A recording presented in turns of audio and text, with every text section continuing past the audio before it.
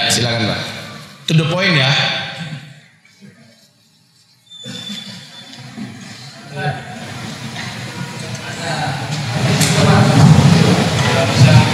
Coba gini, yang mau bertanya tulislah. Jadi saya nggak lama, apa ulang balik? Hah? Apa tadi itu? Jangan kayak gitu. Ya, coba silakan. Assalamualaikum warahmatullahi wabarakatuh. Itu lagi bertanya. Ah, persiapkan yang mau bertanya dengan tulisan. Ya.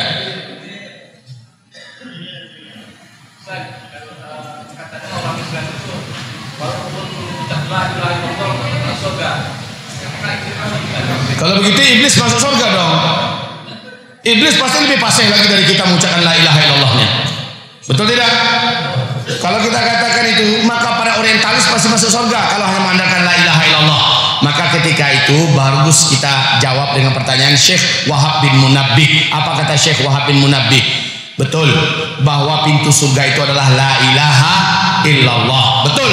Tapi kunci pembuka pintu surga itu setiap kunci pasti ada gigi-giginya. Coba keluarkan kuncinya masing-masing. Lihat, ada nggak kunci yang tidak punya gigi-gigi? Pasti punya gigi kan? Nah, gigi-gigi daripada kunci pembuka pintu surga itu adalah sami'na wa kepada Allah dan Rasulnya. Orang mengucapkan la ilaha illallah langsung masuk surga. Mana nampak nggak sami'na wa? Kalau nggak nampak, maka itu tidak akan pernah bisa masuk surga. Tunjukkan dulu sami'na wa. Makanya setelah orang mengucapkan syahadat ngapain? Salat, puasa, zakat, haji, ya kan? Ada kewajiban yang lain. Jadi kalau hanya la ilaha illallah, habis itu dia masuk surga. Burung beo masuk surga juga. Burung beo bisa mengucapkan la ilaha illallah. Ya nggak bisa begitu, Pak. Makanya banyak dikatakan sebagian besar daripada umatku. Tolong baca hadis ini dan dengarkan hadis ini.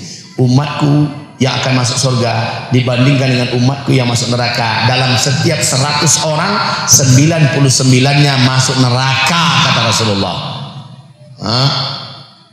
Jadi kalau mengandalkan hadis yang tadi dibaca, semua orang akhirnya nggak perlu sholat, sudah mengucapkan la ilaha illallah kok. Ya, jadi harus ada konsekuensinya. Konsekuensinya adalah gigi-gigi tadi. Gigi-gigi itu adalah sami'na wa ata'na. Ada perintah di sini, ada perintah di situ, ada larangan di sini, ada larangan di situ. Ditaati enggak?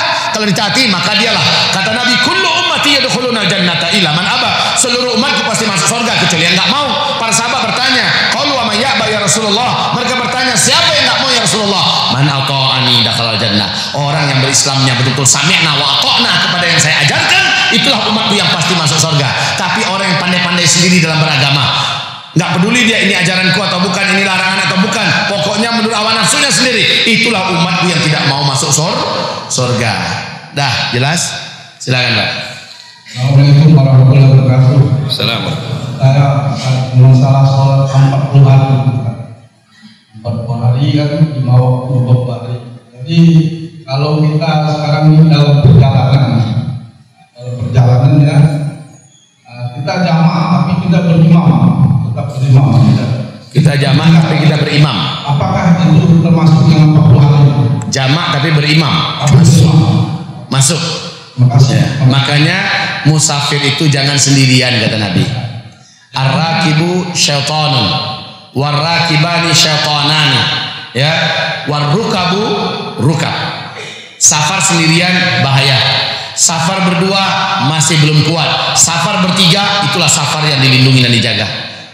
Dalam safar itu harus ditunjuk satu orang jadi imam kita atau amil safar. Sehingga setelah berjamaahnya terjaga selalu. Ya.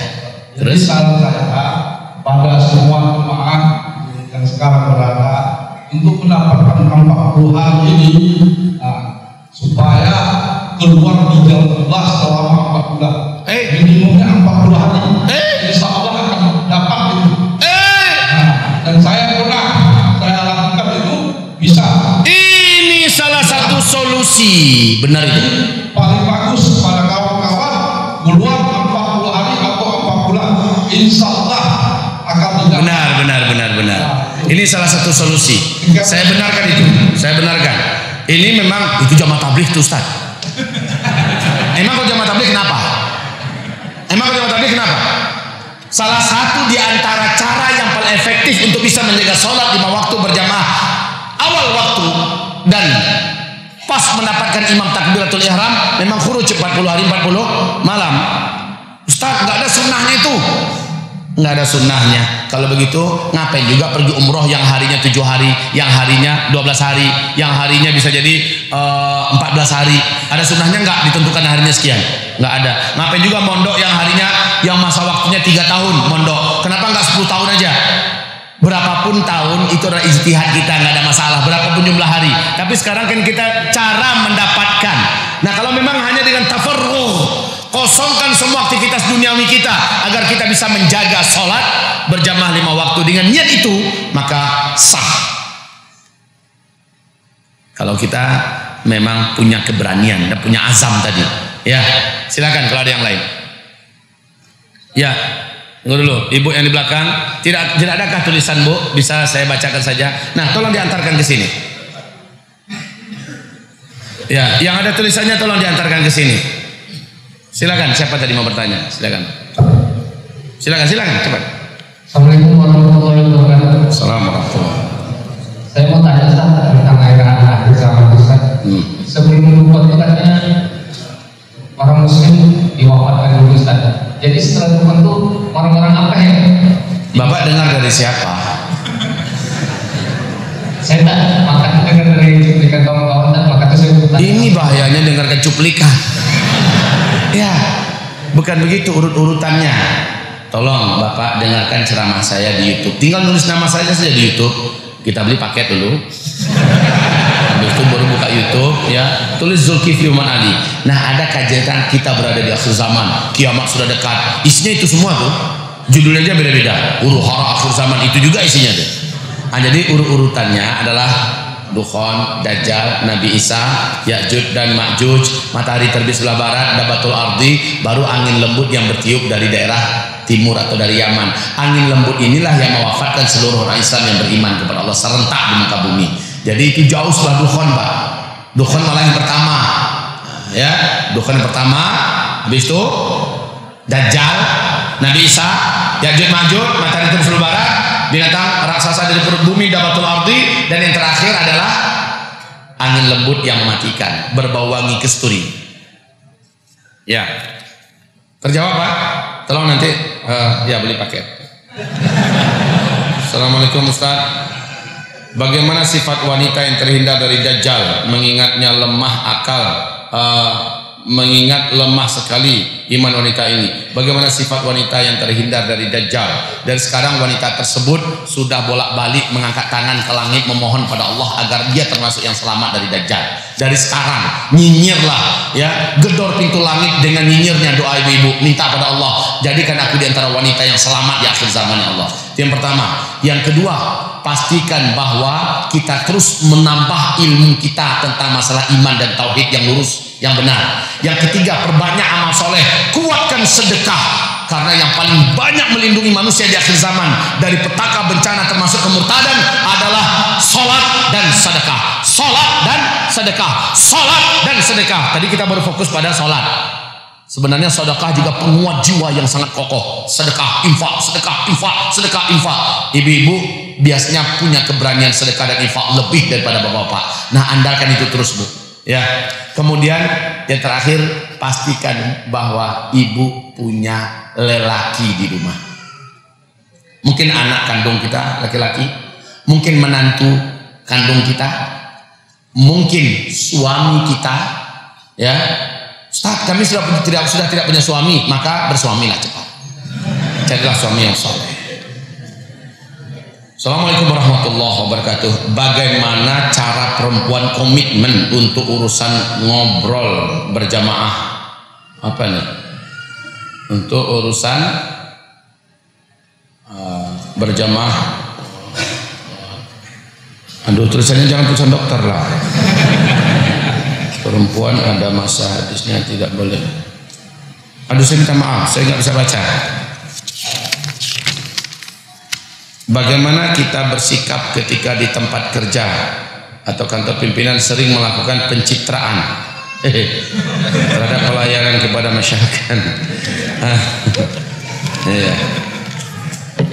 Itu urusan majikan lah. Kalau suka pencitraan jangan ikut-ikutan pula kita pencitraan. Ya. Kita istiqomah saja karena kita diperintahkan untuk kulu kaulan sadida. Kamu harus bersikap lurus katakan apa adanya, maka itu akan menolong menyebabkan kamu selalu ditolong oleh Allah Subhanahu wa taala. Pak Ustaz, di kampung saya ada sholat 40 hari 40 malam, tapi perempuan. Eh? Iya kan terdengar. Ini perempuan. Kalau yang tadi perintahnya adalah laki-laki. Laki-laki. Kalau kami yang wanita Ustaz, bisa nggak kami selamat dari sifat munafik? Bisa. Bagaimana caranya Pak Ustaz? Sholatlah awal waktu walaupun tidak berjamaah tapi di rumah. Nggak Kalau nggak mampu di rumah tapi on time. Karena kata Rasulullah salatuhunna fi buyutihinna khairul lahunna min salatihinna fi masajidihinna. Salat-salatnya Pak, salatnya pada wanita-wanita di rumah-rumah mereka lebih baik daripada mereka salat di masjid-masjid mereka. Tapi sesudah 40 hari 40 malam tidak ada lagi salat berjamaahnya. Apakah ada dalilnya? Enggak ada. Nah, terjawab insyaallah. Bapak Ibu yang kami muliakan, tak ada lagi pertanyaan? Cukup sampai di sini? Baik.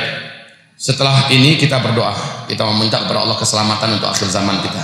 Silakan. pernah mendengar apa? Nama tadi itu uh, bahwasanya sedangkan sahabat Nabi Umar bin Khattab sendiri tidak mampu melawan Dajjal. Gimana yang kita Ustaz? Apa yang kita lakukan? Apa yang kita yang selalu harus kita amalkan? Sedangkan Umar bin Khattab sendiri aja tidak mampu melakukan. Ya, dah, dah, dah paham. Pernah nggak dengar kajian-kajian akhir zaman dari saya? Iya. Makanya pertanyaannya yang biasa saya sampaikan, tapi itu ditanyakan ini menunjukkan memang belum pernah dengar ya. Memang betul, Dajjal itu jangan dilawan. Sedangkan Rasulullah berkata pada Umar bin Khattab, dia itu bukan lawanan ente. Ente bukan ini bukan apa-apa bagi dia. Ya, kalau dia memang dajjal, ente tidak akan bisa mengalahkan dajjal, apalagi kita. Ya, bahkan Nabi mengharamkan kepada umatnya, jangan pernah kamu keluar untuk berjumpa dengan dajjal.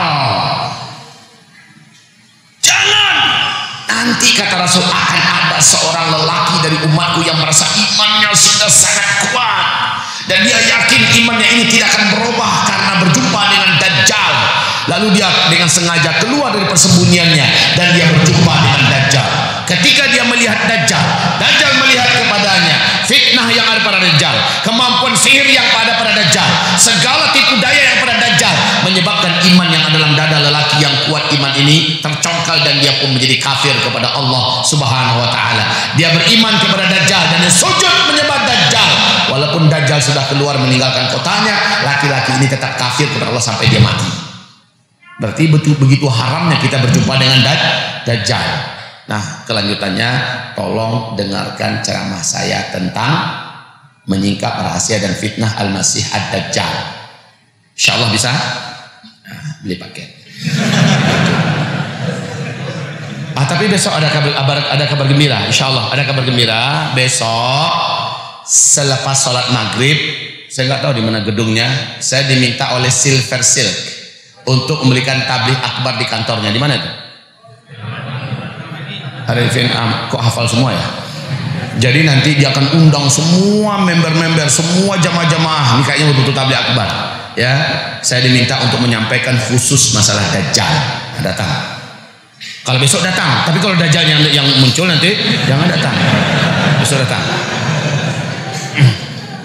ya, jadi udah mudah-mudahan besok seluruhnya lancar. Acaranya mulai dari maghrib sampai selesai. Pembahasan saya adalah menyingkap rahasia dan fitnah Al-Masih Ad-Dajjal. Ya, bawa rekaman, bawa rekaman. Jadi nggak perlu beli paket kalau gitu. Live insya Allah. Baik Bapak Ibu yang kami muliakan, sekarang imbauan daripada saya kepada Bapak Ibu semua. Bapak Ibu semoga mengalir kepada Ibu Bapak semua amal soleh Bapak Ibu yang telah dengan ikhlas menyalurkan infak wakaf sedekahnya kepada kami waktu kita membangun gedung madrasah mulazamah al-hufaz tingkat SMP. Alhamdulillah kurang dari satu tahun gedung tersebut telah berdiri kokoh dua lantai. Alhamdulillah sudah maksimal penggunaannya sekarang. Siang malam berdengung Al-Quran, orang-orang tahajud, anak-anak melaksanakan ibadahnya di sana. Semoga mengalir pahalanya bagi Bapak Ibu. Amin. Tapi jangan seperti orang munafik Ah betul, itulah banyak kalau itu. Kenapa demikian? Karena satu tahun kita menjeblok ke kita meluluskan anak pertama, Anak-anak ini hafiz Quran seluruhnya. Adab mereka sudah sampai pada tingkat yang semua orang tua bangga dan bahagia punya anak seperti mereka. Tapi dimasukkan ke pesantren tingkat SMA di berbagai kota dan provinsi. Lalu orang tuanya pada melapor kepada kami mereka tidak tega dan mereka tidak sanggup melihat anak-anaknya hafalan mereka yang 30 juz itu mulai melemah. Adab mereka mulai terbias oleh lingkungannya dan sebagainya. Lalu orang-orang tua yang anaknya kelas 3 di pesantren madrasah mulazamah kami mulai menuntut dengan harap yang penuh agar kami melanjutkan ke tingkat SMA. Sementara kita belum punya sarana. Maka dengan ini, wahai Bapak Ibu, baru dua bulan satu minggu kemarin, saya dan yayasan memutuskan Bismillah. Bismillah. Yang sudah mendaftar sudah lebih 40 orang. Itu pun kami saring ketat Pak untuk tingkat SMA. Syaratnya anak yang masuk tingkat SMA, salah satu syarat utama kami sudah wajib hafal Quran 30 juz. Paling lemah hafalannya adalah 20 juz dan itu sudah kuat hafalannya. Karena kita mencetak kader ulama Pak Target kami teman eh, taman SD 7 tahun bersama kami sudah setara dengan S1 dari Timur Tegal. Ini pekerjaan besar. Nah sekarang yang mendaftar orang yang mempunyai kelayakan itu sudah 40 orang orang lebih. Alhamdulillah.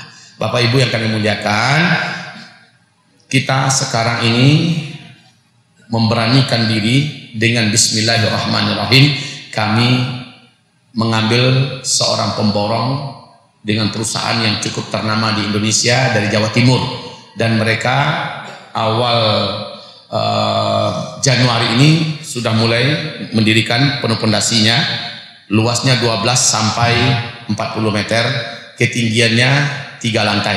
Sama Coach Makmur ketua masjid kita sudah saya kasih lihat. Beliau memberikan beberapa masukan. Nah kaum muslimin uh, satu meternya adalah 2 juta 300 totalnya 1404 meter yang sudah terkumpul lebih kurang 434 meter. 434 meter. Saya setiap tabli akbar saya sampaikan dapat 10 meter dalam tabli akbar ini Alhamdulillah. 10 meter berarti 2 juta 23 juta kan? Dapat 10 meter. Ada yang bisa dapat 20 meter ada yang bisa dapat 30 meter ada yang bisa dapat bahkan ke malam tadi ini di mana tadi? Di Perawang hanya dapat 5 meter. Alhamdulillah juga. Pokoknya selalu kita dapatkan tambahan meter demi meter. Nah bagi yang akan langsung ingin per meter, ada sertifikat wakafnya di sini. Ada sertifikat wakaf dan ini kami kosongkan. Ada sertifikat wakaf yang besar dan itu khusus satu meter dua juta tiga ratus ribu rupiah. Silakan ambillah satu lembar, dua lembar. Kalau ini kosong, silakan diisi. Mungkin setengah uh, meter atau mungkin seperempat meter atau bisa jadi hanya dua ratus ribu. Tidak apa-apa. Semuanya kalau disatukan tetap membentuk kesatuan. Bapak Ibu, pada siang hari ini saya kembali mengajak Bapak Ibu semuanya karena target saya Mei atau Juni gedung ini sudah bisa dipakai Pak. Sekarang yang kerja udah 14 orang yang kerja dan itu akan terus tenaganya bertambah ya. Kerja siang malam karena ini mengejar agar target kita di bulan Mei atau bulan Juni gedung ini di bawahnya yang bawah ini adalah ruangan serbaguna bisa untuk sholat bisa untuk acara-acara tabi akbar, acara-acara apa saja ruang serbaguna. Di pertengahan adalah untuk asrama dan di atas adalah ruang belajar. Semoga Bapak Ibu dengan semangatnya kita orang beriman, apalagi kajian tentang sedekah tadi, sholat dan sedekah, sholat dan sedekah, sholat dan sedekah ini penguat yang luar biasa untuk agama kita, pengokoh iman kita. Maka tafadhol, mungkin uh, rape tangguk rape tetap kita lakukan, ya, kita lakukan. Bisa dibantu oleh eh, kawan-kawan kita, para pemuda masjid, tangguh rape. Tangguh rape kan paham kan? Adanya cuma 20 ribu masukkanlah. Adanya cuma 50 ribu masukkanlah. Yang lain agak bakarinciang, nalai agak agak bangka uh, nomor keningnya, uh, suntikan kepada nomor kening yang kami tuliskan berikut ini.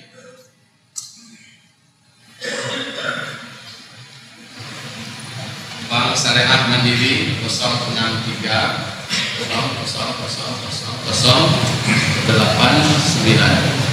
atas nama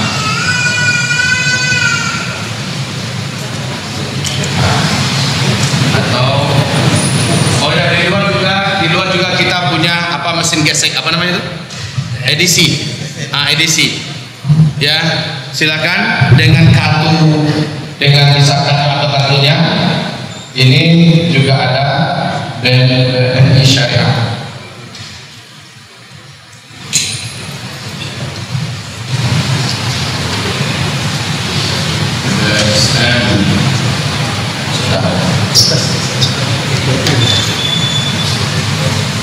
silakan siapa yang bisa membantu eh, mudah kami agar kita bisa uh, jalankan kajian. yang jauh. Ustaz kami nggak bawa duit banyak, lepas kalah cincin. Kok bapak ketawa pak? Kayak anehnya kedengarannya. Bapak ketika Rasul meminta kepada para sahabatnya agar memberikan sedekah, maka Bilal yang keliling di ibu-ibu dan kata Rasulullah ibu-ibu melepaskan cincin-cincin mereka, gelang-gelang mereka, anting-anting mereka dan itulah dia milik kita yang sebenarnya Allah masih ganti dengan yang lebih baik dan lebih banyak ya, kalau bapak emang gak punya cincin makanya bapak ketawa. Yang saya maksud adalah cincin itu ibu kalau bapak usah lepas cincinnya? Gak punya cincin juga kok ini BCA BCA nya harus kita menumpang nomor ini ya. 614 50 473 dan 60 sama.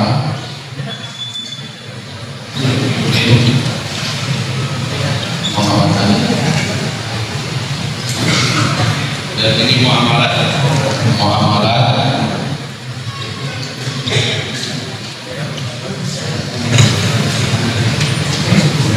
keluar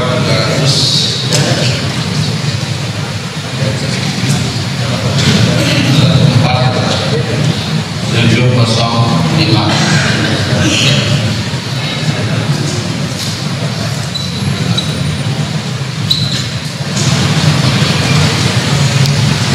Jadi sekarang kami dengan Bepom Borong, saya selalu setiap minggu me- mentransfer kepada rekening mereka 100 juta, satu minggu 100 juta, satu minggu 100 juta. Alhamdulillah kemarin sudah minggu yang ke-8 dan alhamdulillah seluruhnya lancar, lancar. Semua nomor rekening ada setiap minggu kami pastikan kami tarik Pak, langsung di diberikan kepada mereka. Baik Bapak Ibu yang kami muliakan, eh, Silakan jalan dulu dalam dua menit, nanti kita baru berdoa dan kita aminkan semua doa-doa kita.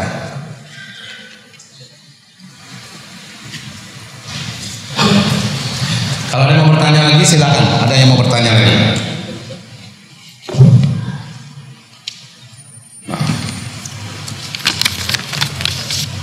Assalamualaikum. Ustaz bertanya masalah musik. Apakah musik itu haram? Bagaimana jika musik islami? Karena sebagian ustadz ada yang mengatakan musik itu ada yang boleh jika musik itu islami. Jadi begini, Nabi tidak mengatakan uh, musik itu haram. Tidak ada Nabi mengatakan musik itu haram. Tapi yang dilarang oleh Rasulullah SAW adalah beberapa alat musik. Ada dua jenis alat musik yang haram. Dan itu hadisnya Sahih Bukhari. Yaitu alat musik yang jenisnya tiup. Apa pun dia, seruling, harmonika, trompet ataupun yang yang jenisnya adalah ti, tiup. Yang kedua yang jenisnya adalah petik. Gitarkah nah, apa saja yang yang sifatnya petik, piano ya. Itu saja dua jenis ini. Maka gerinci yang drum band apa segala macam itu silahkan. Waktu menyambut Nabi juga pakai pakai dufuf ya drum band. Bahkan kata Rasulullah waktu pernikahan uh, tabuhkanlah band kamu ya dan nasyid yang bisa menggelorakan semangat yang bisa menimbulkan uh, apa tuh gelora kita untuk berjuang pada dan berdakwah maka hidupkanlah ini. Silakan. Nah, kemudian berikutnya adalah lirik. Apa pun lirik yang mengarah kepada bermaksiat kepada Allah subhanahu wa ta'ala lirik yang mengarah kepada pelanggaran syariat aku mau makan ingat kamu Disuruhnya ingat kepada manusia. Padahal mau makan ingat Allah. Mau tidur ingat Allah. Ini suruhnya ingat pada manusia. Aku mau berdandan ingat kamu kecilnya. Atau lirik-lirik yang mengajak pada syirik. Sungguh mati aku jadi penasaran. Oh sampai mati akan ku perjuangkan katanya. Kan itu kan? Sungguh dia kok apa Ustaz? Itu waktu SD dulu tuh anak tidak hilang-hilang sampai gini tuh. Dari SD tuh ah, begitu bahayanya kita pak, ya anak-anak SD kita ini ada lingkungan yang nggak benar. Sampai sekarang nggak bisa hilang, tak bawa tadi. Lagu-lagu yang kini kan hafal saya dah. Ya baik. Sudah, itu yang musik ya. Ada pertanyaan lagi yang lain? Habis. Sudah selesai? Ya. Ya, ya, silakan jalankan. Lihat ibu-ibu punya semangat lebih daripada kita, Pak. Masya Allah.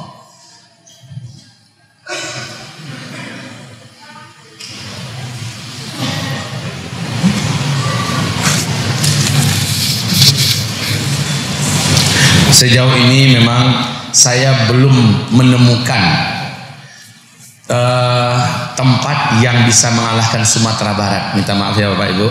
Sumatera Barat punya keberanian berinfak yang dahsyat. Jujur saja. Apalagi ibu-ibunya. Saya sering bahkan ada di antara jemaah kita yang berani, tapi bukan untuk rangka pembangunan ya, yang berani menginfakkan mewakafkan mobil barunya. Itu di Pekumbuh itu Pak kalau motor sudah sering yang mewakafkan kuncinya, ternyata bukan kunci saja, memang ada motornya di luar. Motornya. Ada anak-anak sekolah yang handphonenya, baru dia beli handphonenya dia kasih. Maka dengan ini saya lihat di perantauan banyak juga orang-orang Minang. Maka Bapak Ibu, saya tidak mengatakan hanya orang Minang ya, karena ada daerah yang lain juga. Tapi yang terkuat selama ini yang berani adalah memang orang-orang Minangkabau untuk berinfak lebih hebat itu. Saya waktu ke Sydney dan Melbourne, orang-orang Minang di sana mampu membebaskan tanah pesantren kami.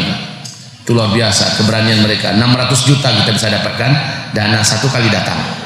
Ini pahalanya mengalir kepada mereka insya Allah taala. Kalau mereka melihat apa yang sudah mereka bebaskan yang sekarang terpakai secara maksimal, betapa beruntungnya mereka. Dan itu orang Minang. Assalamualaikum Ustaz. Akhir-akhir ini banyak bermunculan challenge di antara para milenial seperti 40 hari setelah subuh di salat apa? Salat subuh di masjid 40 hari salat tahajud untuk menjemput jodoh dan lain-lain. Apakah boleh hal seperti ini dilakukan? Karena niatnya sudah bukan karena Allah, tapi karena challenge. Karena ingin menjemput jodoh bukan karena Allah Subhanahu wa taala. Jadi begini. Ini yang dia buat salat yang dia buat adalah sholat sholat itu yang dia sembah siapa dalam sholat Allah. Yang dia tuju adalah jodoh. Apakah itu salah? Yang dia sembah Allah yang dia minta kepada Allah Allah. Cuma dia mengerjakannya dengan cara sholat kalau dalam hal ini jelas tidak ada salahnya. Hanya sayangnya kenapa dibuat 40 hari? Untuk pertanyaan itu karena ini masalah ibadah ini masalah ibadah, bukan masalah cara ya. Kalau masalah ibadah, kalau ada tuntunannya 40 hari ya kita buat. Tapi kalau nggak ada tuntunannya 40 hari, kenapa harus 40 hari?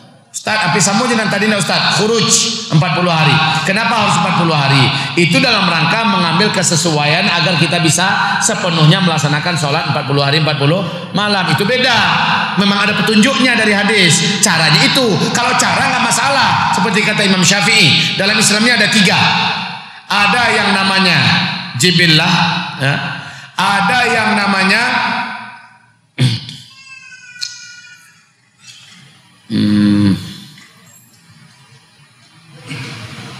uh, maaf yang berkaitan dengan ibadah harus sama caranya, niatnya, caranya seperti yang diajarkan oleh Rasulullah Sallallahu Alaihi Wasallam. Yang berkaitan dengan ibadah. Nah, kalau yang berkaitan dengan bukan dengan ibadah, tapi berkaitan dengan sarana, berkaitan dengan teknis maka itu silahkan. Contoh pergi haji sama Nabi dulu dengan onta jalan kaki. Sekarang bisa dengan pesawat. Sekarang bisa dengan pesawat. Maka silahkan tanpa mengikuti Nabi Muhammad SAW karena kalau mengikuti Nabi dari sini pakai onta ke, ke Mekah. Tapi sekarang kita bisa tanpa pakai onta tapi pakai pesawat. Berangkatlah. Pakai kapal pakai kereta pakai kapal.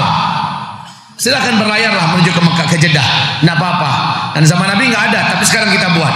Dulu zaman Nabi berdakwah tidak ada pakai TV. Sekarang bisa berdakwah pakai TV, pakai internet. Berdakwahlah pakai TV, pakai internet. Tidak apa-apa. Karena ini termasuk di bagian sarana, sarana. Untuk sarana mah nggak ada masalah. Masalah kayak tadi, kenapa 40 hari tahajudnya? Untuk dapatkan jodoh. Padahal kata Nabi cukup sholat tahajud, kemudian sholat hajat lah di rumah.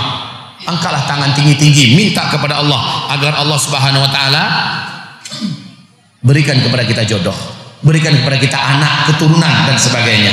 Ya, demikian Bapak Ibu. Tidak ada lagi. Mari kita berdoa kepada Allah Subhanahu wa taala. Allahumma salli wa sallim ala asyrafil anbiya'i wal mursalin sayyidina Muhammadin sallallahu alaihi wasallam wa ala alihi wa ashabihi ajma'in wa man tabi'ahu bi ihsan ila yaumiddin Ya Rabb kami berilah kepada kami taufik maunah pertolonganmu ya Allah agar kami memiliki keberanian dan cukup nyali ya Allah untuk mengatakan tidak kepada setiap kebatilan dan kezaliman. Berikan kepada kami kecukupan nyali dan keberanian ya Allah untuk berani mengatakan iya kepada kebenaran dan kepada al-haq agar kami tegak di depan kebenaran untuk membela dan menyampaikan kebenaran. Jadikanlah kami ini pembela-pembela yang hak. Jadikanlah kami ini orang-orang yang mampu mencegah atau menghancurkan yang batil. Kokohkan kaki-kaki kami, istiqomahkan hati-hati kami ya Allah agar kami mencintai ketaatan kepadamu ya Allah seperti kami mencintai hidup dan nyawa kami ya Allah. Ya Rabb kami, jadikanlah kami termasuk hamba-hambamu yang engkau ringankan untuk bersedekah, berinfak, berdakwah, menegakkan amar bil ma'ruf nahi anil munkar, membela kebenaran dan menghalau atau menghancurkan kebatilan. Ya Allah, kuatkan hati kami. Jadikan kami orang-orang yang kuat berkorban untuk kepentingan agama ini di akhir zaman ya Rabb. Kami mohon kepadamu, selamatkan kami dari sifat-sifat munafik ya Allah lepaskan dari dada-dada kami seluruh perangai-perangai orang-orang munafik ya Allah. Dan bersihkanlah kami dalam segala urusan apa pun di kehidupan kami daripada karakter-karakter kemunafikan ya Rabbal Alamin. Jangan engkau biarkan kami menghembuskan nafas terakhir kami sementara pada diri kami masih ada sifat-sifat nifaq. Ya Allah tolong kami tolong kami wahai Rabbal Alamin agar kami menjadi mukmin hakkan di akhir zaman ini ya Allah. Ya Rabb kami tambahkanlah iman ke dalam dada kami dan jadikanlah iman itu perhiasan yang sangat indah bagi kami sehingga kami meninggal dunia engkau ridho kepada kami dan kami rindu kami ridho berjumpa denganmu ya Allah. Ya Rabb kami sampaikan salam rindu cinta kami kepada Rasulullah sallallahu alaihi wasallam dan para sahabat-sahabat yang mulia ya Allah. Izinkan kami kelak bisa bertetangga dengan beliau di dalam surga Firdausmu. Izinkan kami ya Allah bisa bertetangga dengan Rasulullah kelak di dalam surga Firdausmu. Izinkan kami termasuk orang-orang terdekat dengan Rasulullah Sallallahu Alaihi Wasallam ya Allah di dalam surga Firdausmu kelak. Ya Rabb kami wahai arhamar rahimin ya mujibas sa'ilin Sembuhkanlah guru kami Kiai Haji Muhammad Arifin Ilham. Sembuhkanlah beliau. Beliau salah satu di antara da'i yang tulus Memiliki karakter penyeru yang tegas dan berprinsip. Beliau adalah salah satu di antara ulama pemersatu ya Allah. Beliau berani mengatakan iya dan beliau berani mengatakan tidak untuk kebenaran beliau katakan iya untuk kebatilan beliau berani mengatakan tidak Beliau telah teladan bagi kami. Panjangkan umurnya ya Allah. Sehatkan beliau ya Rabbal Alamin. Ya Allah, apa pun penyakitnya, apakah karena ain atau karena sihir atau mungkin karena medis, murni medis, apa pun penyebabnya, Engkau adalah asyafi. Sembuhkanlah beliau ya Allah. Sembuhkanlah beliau ya Rabbal Alamin. Sembuhkanlah beliau ya Arhamar Rahimin. Ya Allah, Madrasah Mulazamah Al-Hufaz kami di Payakumbuh yang akan hamba bangun ini adalah untuk menciptakan generasi-generasi pewaris para ulama. Ya Rob kami, kami belum punya apa-apa. Kami hanya punya engkau dan kami punya orang-orang beriman yang beriman kepada engkau. Izinkanlah madrasah ini bulan Mei atau Juni sudah berdiri utuh dan bisa kami pakai ya Allah. Ya Rob, biar belum indah tidak mengapa. Biar belum megah tidak mengapa. Yang penting bisa maksimal kami pergunakan ya Allah. Datangkanlah rezeki wahai pemilik yang pemilik langit dan bumi. Wahai pemilik khazanah kekayaan di langit dan di bumi. Datangkanlah rezeki dengan cara-caramu. Tutupilah seluruh biaya-biaya kami ya Allah. Kepadamu kami meminta kepadamu kami berharap. Kami fuqara'u ilaih kami fakir kepadamu ya Allah kami hanya memohon kepadamu ya rabbal alamin sebagaimana engkau berjanji in tansurullaha yansurkum wa yuthabbit aqdamakum. Kalau kamu menolong agama Allah Allah akan tolong kamu dan Allah kuatkan kaki-kaki kamu. Maka tolonglah tolonglah kami tolonglah kami tolonglah kami. Amin. Ya rabbal alamin. Ya Allah, Ya Rahman Rahimin, Ya Mujibas Sa'ilin Sesungguhnya Engkau maha mendengar dan maha mengabulkan doa. Kami memohon kepadamu 17 April 2019 adalah pemilihan Presiden Republik Indonesia Pemilihan legislatif untuk DPR RI Kami memohon kepadamu Ya Allah Menangkanlah Islam dan kaum muslimin. Menangkanlah Islam dan kaum muslimin. Menangkanlah Islam dan kaum muslimin. Kami inginkan Prabowo Subianto menjadi presiden kami ya Allah. Menangkanlah beliau ya Allah bebaskanlah kami dari kehinaan yang selama ini betul-betul membuat kami tidak punya muka dan harga diri di mata dunia ya Allah. Negeri kami menjadi negeri terhutang yang cukup mengerikan di Indonesia ya Allah. Kami mohon kepadamu menangkanlah kami. Menangkanlah kami menangkanlah kami ya Allah. Sesungguhnya engkau memiliki makar dan orang-orang sana menyiapkan makar. Makar mulah yang pasti unggul dan berlaku. Ya Rabb kami kabulkanlah doa kami ini. Kabulkanlah doa kami ini. Kabulkanlah doa kami ini. Allahumma amin. Allahumma amin. Allahumma amin. Wa sallillahumma ala asyrafil anbiya'i wal mursalin sayyidina Muhammadin sallallahu alaihi wasallam wa ala alihi wa sahbihi ajma'in wa man tabi'ahu bi ihsanin ila yaumiddin. Rabbana atina fid dunya hasanah wa fil akhirati hasanah wa qina adzabannar. Subhana rabbika rabbil izzati amma yasifun wa salamun alal mursalin. Walhamdulillahi rabbil alamin. Allahumma amin. Bapak Ibu, saya baru saja menonton acara ceramahnya Tengku Guru Bajang. TGB. Terang-terangan beliau mengumumkan dan mengajak untuk mari kita pilih Jokowi itu hak beliau kita hormati hak beliau tidak apa-apa tapi dengan adanya ceramah ini sekarang saya jadi PD pula saya katakan mari kita pilih Prabowo dan Sandi saya jadi PD juga toh sudah ada bukti ada contoh kalau saya dia di, di apa dipermasalahkan harusnya beliau dipermasalahkan Harusnya orang-orang yang seperti beliau yang terang-terang mengajak dipermasalahkan. Sekarang saya mengajak dengan sopan, dengan santun. Saya tidak mau menjelek-jelekkan Jokowi. Saya tidak mau menjelekkan pihak sana. Tapi saya yang mengajak, ayo umat Islam yang beriman. Kita pilih pilihan para ulama. Ya, kita perjuangkan kembali kehormatan dan harkat kita. Kita ambil kekuasaan ke depan dengan cara konstitusional yang beradab, yang beretika. Setuju? Demikian dari saya. Barakallahu fikum fina jami'an. Silakan dapatkanlah kesturi jawari di bawah karena di dalamnya ada dakwah dan infak untuk agama Allah yang sangat menguatkan perjuangan-perjuangan ini. Semoga bermanfaat untuk kita. Hayyanallah wa yakum sertifikat uh, wakaf ada di bawah sana. Dapatkanlah dan bisa ditransfer juga dan konfirmasinya silahkan ke nomor pribadi saya bisa atau ke nomor tim kami. Mari kita baca surat Wal Asri. أعوذ بالله من الشيطان الرجيم. بسم الله الرحمن الرحيم. والعصر إن الإنسان لفي خسر إلا الذين آمنوا وعملوا الصالحات وتواصوا بالحق وتواصوا بالصبر Allahumma rahamna bil Quran. Wa sadaqallahul azim. Doa kafaratul majlis kita baca sama-sama. Subhanakallahumma wa bihamdika ashadu an la ilaha illa anta astaghfiruka wa atubu ilaih walhamdulillahi rabbil alamin. Wabillahi taufik wal hidayah. Mohon maaf dari batin. Malam nanti pengajian kita insyaallah di Masjid Mukhlisin. Katanya dekat Masjid Agung An-Nur ya eh Nurul Yakin. Masjid Nurul Yakin. Silakan untuk bergabung ke sana. Habis maghrib ya?